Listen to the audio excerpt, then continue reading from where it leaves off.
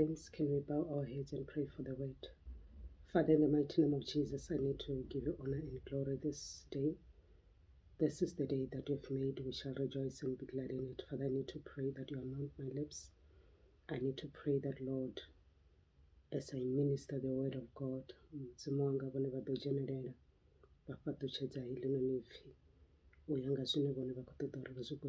ṋamusi in the mighty name of jesus i pray amen today i want us to talk under the topic cast it cast it i want us to read in the book of psalms 55 22 cast your burden on the lord and he will sustain you he will never permit the righteous be moved. So today I just want us to discuss briefly what is the meaning of cast. So the topic says cast it. What is the meaning of cast? And what came to my mind was that there is a reason why there's a cast, there is a reason why it's not a giving. So when you are giving something, you give it with the intention that you can get it back. But when I give you something, when it's still in my hands, the pace in which I'm giving it is not the same as the pace of casting. So when I cast something, I am throwing it away. So when I cast something, I don't care of the damage of what it can happen when it is thrown away. So normally, if I can say, throw this thing in the bush, it will be very hard for you to locate that thing because it was thrown away. So, throwing things away has to do with forgetting as well.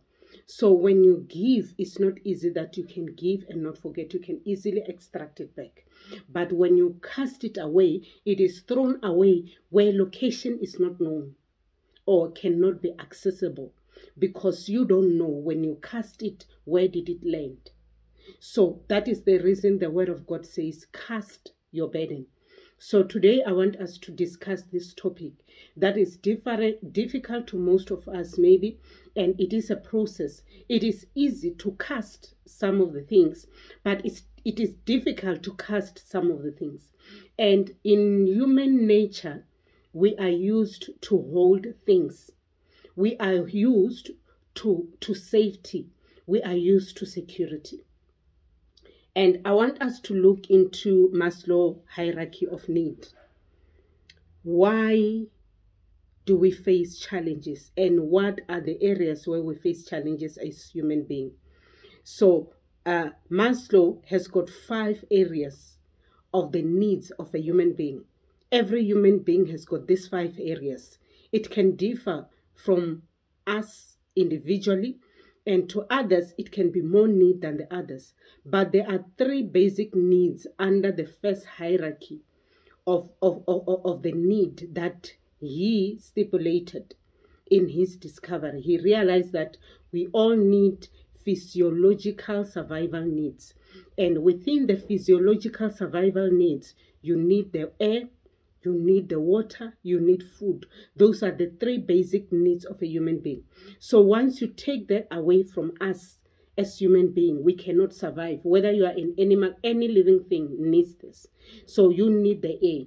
So when I did my research, it stipulates that for you not to make it, if we withdraw air for three minutes, you won't survive after three minutes of not having the air, of not breathing. And if we remove water for three days, you may not survive after three days of not having water. If we remove food for three weeks up to three months, you may not survive not having that. Why? Because, because it's number one, it's a basic needs. So he further stipulates that the second needs is safety and security. Is safety and security those are the aspects that triggers challenges in our lives. We have challenges based on life which is a we all need to live. So challenges can be life threatening which requires a which is a basic needs. Challenges can be the need of supply which is a basic need for every individual to, to, to survive in this world. We could have challenges. The second category is the safety and security. We all need to feel safe. We all need to have shelter. We all need to feel secured. We all need some form of protection. That's why in our houses we've got security guards. Some of, some of the people that live in an estate, they went there so that they can beef up security. Why? Because it is a need. They need to feel safe. And they had to have extra precaution to make sure that they are safe. People have got alarm system. People have got cameras. People have got beams. People have got walls all over the houses. They've got fences to try and cover this aspect of safety because it's a need, it's a human nature to want to feel safe. Even the thugs themselves, whether you are the thug, you break into people's home, you also have that need of feeling safe. That's when you realize when the alarm can can kick in, they will run away. Why? Because they no longer feel safe. So that is a basic need of every individual. That is what causes challenges in our lives. And the other thing is love and belonging. So these are the other category under Maslow hierarchy of needs that he stipulated that we all need to be loved. We all need to belong. And hence you'll find that we've got surnames, we have got locations, we are proud of our, of, of, of, of, of our of, of our background, we are proud of what where we come from. And each and every one of us have got a surname in our ID so that we can be identified, we can belong. I belong somewhere. So, to an extent whereby you need friendships outside of your immediate family, you need friends to belong to a group of friends, to belong to a support system. It's a need. So you can't live in isolation. You live among people, hence, you need people that you can associate with. You need people who can love you and you can love them back. That is another aspect. It's a need. And once all these needs are triggered, it becomes a burden because now a need has been taken away from me. And the other thing is esteem, our stature. So we need to have self worth so you need to have that important skill, appreciation, recognition, respect. So each and every one of us, whether people respect you or you are respectable or not, or you do things that makes you to not be to be respected, so you will always need some form of a respect to a certain level. Because you will feel no one wants to be undermined. Everyone feels important in their own right, in their own space. So that is a need. So the fifth one is self-actualization, which our is, our mental being, our emotional being, our physical being, our spiritual being. So these are the aspect that is a need that contribute to who we are, that forms part of the biggest challenges that we face in life. So each and every one of us, when you say you have got a challenge, is when a need is taken away from you. And those needs they fall under these five categories according to Maslow hierarchy of needs. So it is a need that is taken away from you. So when that need is taken away from you, it becomes a burden. So because I'm supposed to be constituted of five needs that are supposed to be met, if one or two or three of those needs are taken away from me, I will have void or I will have pain or I can have a burden. Those are the things that God wants us to bring to Him. And we don't bring it actually. According to Psalm 55 22, it says that cast it. So, why does it cast it? So, from the basic needs, God said, the birds of the air, the birds of the field, they don't worry about what they need to eat, what they will wear. That is part of the first need that we need as a physiological survival need. We all need to have shelter. We need to have water. We need to have food to eat. Those are the basic needs that actually in this world is the is number one need that we need to worry about because it has to do with your survival. The other things they are very much mine. They are lesser compared to this one, which is the top in the hierarchy. But then God is saying the one that is the top in the hierarchy, the one that if you don't get, you die. He's saying that if the birds can worry about it and they still survive in the wilderness, they are still fed on a daily basis. They don't die because of hunger. They are fed. What about you as a human being who is created in his own image? So he's trying to say, cast. When you cast, even if you like it or not, can you go and locate something that you have cast? Let's say it's a bushing area, it's a bush and you throw something there, it will be very hard for you to locate that something. It will be very difficult. So that's how God wants us to trust Him with our burdens, with, with our problems. Why? So, will worry add another day in your life? No. The Bible says it won't add another day. If you worry, can it change the situation by just worrying? By being depressed, can it change the situation? No. By worrying, can it change the situation? No. What changes the situation is when we change the way we think about the situation, when we change the way we perceive the situation, and we begin to understand that if something is outside of my control, if I can control it, let me control it. But if something is outside of my control, let me cast it to Him what are the things that causes us not to cast? Is the fear of the unknown. So, most of us, we have lived in a world where we've been disappointed because we can't see God. We have never seen God. So, we see people that are close to us that can easily disappoint us, and we mistrust. And when we mistrust with the people that we can see, and people that sometimes we look up to and people that will think they need to give us the protection, they need to give us the love. They need to give us the belonging. They need to give us security. They need to give us shelter. They need to provide for us. They need to give us a whole lot of things.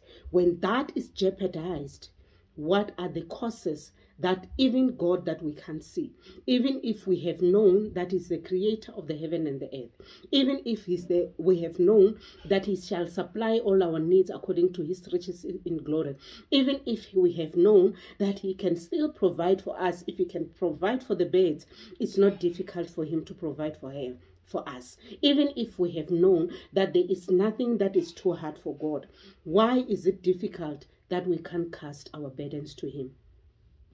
And those are the things that I want to list, which is some of the things that has triggered that it is difficult for us to trust our maker because of the challenges that we've faced in life. And some of these challenges, they fall under the five Maslow hierarchy of needs that have been tempered with. So most people fear failure, rejection, and change. Those are the top three that I've listed. It can be many things a lot of people fear to fail. So when I give my, when I cast this problem that I'm holding, that I think maybe I still have a plan, I can change the situation. Maybe if I can combine one, two, three, four, maybe I can try to get away with this challenge. But then if I cast it, I don't have control over it. So it's the fear of the unknown. I fear that should I give it to the person that I can't see, which is God. And when I cast it, I can't take it back. When I cast it, it disappears. I don't have control over it. I fear rejection. I fear change. I fear the output that I don't know. Because once I control it, at least I can anticipate the output because I'm in charge of the situation. I'm in charge of the circumstance. I'm in charge of this burden. Because once it's out of my hands, I cannot control how the output will be. And these are the reasons why it is difficult for many of us to cast the burden. But today, I want to encourage me and you today and say, can we learn to cast our burden? And see how it goes. When it goes forth, it says, He will never permit the righteous to be moved. He will never permit. He will never permit. He will never permit. Can you repeat that after me? He will never permit. So that is a guaranteed statement. The guaranteed statement says if you cast if you if you are bold enough to say that lord i leave it into your hands and I, I i put on a blind eye i don't care what the results are in this situation, I don't care what the results are, but at your word, O God, I will follow your steps and your statutes. At your word, O God, I will cast my burden. At your word, O God, I will cast my failures. At your word, O God, I will cast my rejection. At your word, O God, I will cast the fear of change. At your word, O God, I'm willing to sacrifice. At your word.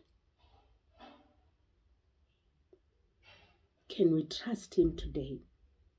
Hard as it is. Do you know that when we walk with God, it's a journey, it's a process? I'm also in a journey. I believe you should also be in a journey. You can never think you know all of God. We don't know all of Him. We are forever discovering of, of His of His doing on a daily basis that is new every day. Every day. His mercies are new every morning. They are new every morning. So when we still think we know Him, and the moment we cast, we realize, oh, even this one the Lord can do.